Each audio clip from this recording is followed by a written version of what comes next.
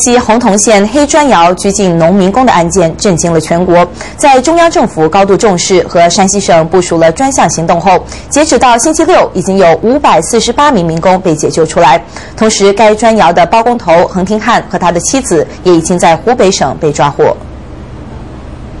洪洞县的这家黑砖窑现在已被查封，现场只剩下破旧的鞋子和砖块。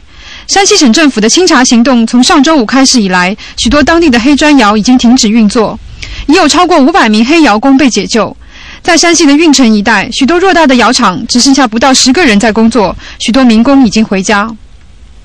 洪洞县五二七黑砖窑事件曝光，三十一名受害的农民工被救出后，政府实施专案，取缔非法黑工和黑砖窑，也将对渎职干部严厉惩处，并探索建立保护外来务工人员的长效机制。凤凰卫视综合报道。